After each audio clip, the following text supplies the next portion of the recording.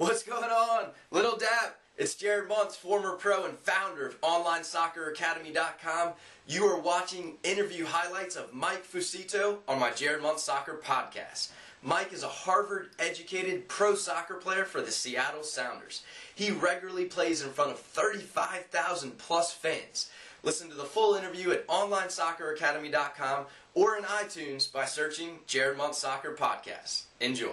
Well, I couldn't find out who was the man of the match of that night, but in my opinion, you were one of the top players on the field. So, how, how did it feel being subbed off towards the end of the game to a standing ovation in front of 35,000 fans? And what was going through your mind when you gave everybody a round of applause thanking them?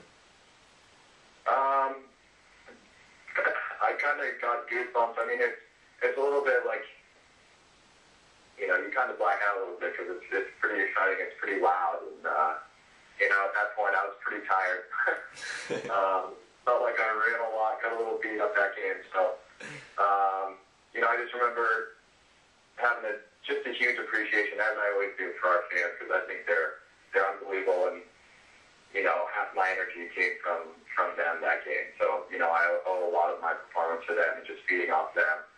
Um, you know, and then I just remember coming off and telling Roger, you know, finish the job and just make sure that, you know, we, we finish the game out. So. Mm-hmm. Well, having 35,000 fans give you some energy, I'm sure, is a nice boost. um, yeah, it's a, it's a nice little boost. So. yeah, that's awesome. Uh, well, before before your Harvard years, um, you were a standout high school soccer player, and your forward strike partner was a little known player named Charlie Davies. Uh, what was it like playing with yeah. him? What was it like playing? What was it like playing with him in high school? And did you two train all the time? And did you both know you'd be pros back then?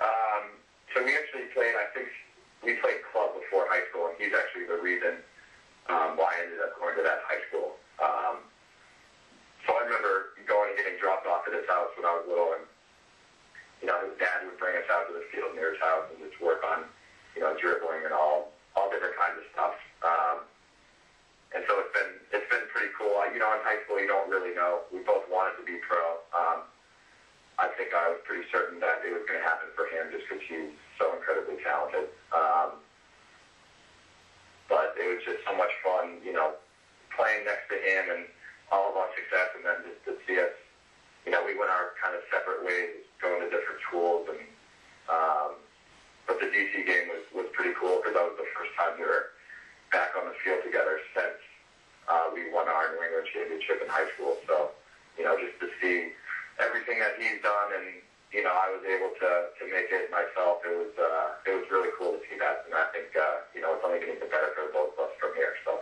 YouTuber My Chemical Romance GRR is an online soccer academy player of mine and a big Sounders fan. Uh, she asks, "What's the coolest part of playing pro soccer for the Sounders?" Oh man, I think walking out um, every time into Qwest Field. I mean, you know, the Open Cup is a perfect example that we just have, without a doubt, the best fans. Um, and we are so lucky to play here. And, you know, just looking up and I, I, I think the coolest part is being 10 yards from your teammate on the field and you're trying to scream to him and he can't hear you because the fans are so loud. And I just think that's the coolest thing. That's incredible. Uh, all right, awesome. Um, well, I got my own uh, user submitted question, and this is just on behalf of my online soccer academy.com players and youth players in general. What advice do you have for young players that are trying to live the dream of playing pro soccer? Um, just don't stop working. You know, I mean, for me, it was never certain that I was going to play pro soccer, and you know, you just can't let what other people say about you discourage you. You know, you're too short, you're too, you know, whatever. Um, but also, you know, don't put all your eggs in one basket. And, you know, I think it's important to get an education because, you know, you can't play soccer forever. So, um, you know, just finding that good balance and so you don't get burned out too early. And, but, you know, if you want something, go after it and, you know, just work hard and, you know, something good will come out of it. So. Well, big game it is indeed. 60,000 tickets reportedly have been sold for Kasey Keller's last home game. Uh, how, special? how special is Kasey Keller? I mean, I think you just see each and every game how unbelievable he is, and I think, you know, a lot of people would say he could play a couple more years because um, he's just he's so good. He's a really good leader, great guy in the locker room. Um, you know, and I remember, you know, when I first got drafted, and he was one of the few names that had already been been signed. It was just kind of like, you know, wow, I'm really going to be playing with this guy, and you know, just having gotten to know him over the last couple of years, um, you know, I'm glad. I'm glad I was able to do that because he is uh, he's just a great guy all around. Mm-hmm. Well, you're personally having a big year, proving your worth on the field. Your salary is on the lower end of MLS, and, and the player that subbed on for you last game makes three times what you do. Uh, any resentment against that player, and are you and your agent in talks to get a raise next season? And if so, how are those talks going?